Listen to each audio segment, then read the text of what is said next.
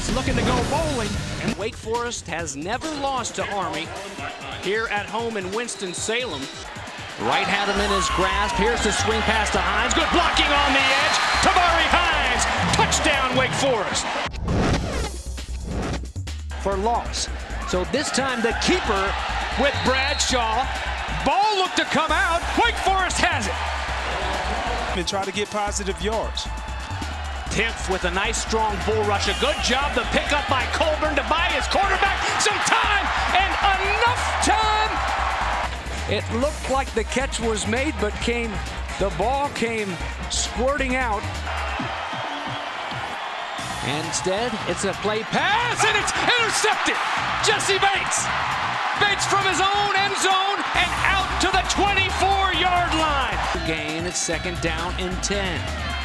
And quickly to the edge and on into the paint. Touchdown in the middle. One more is Moss. Here they come. Wolford under pressure, and it is intercepted. And the Black Knight offense. The give to the fullback on the dive. Carries a few Demon Deacons with him, and he's knocking on the door, but stopped just shy of the goal line. Now they'll call it and a final of 21 to 13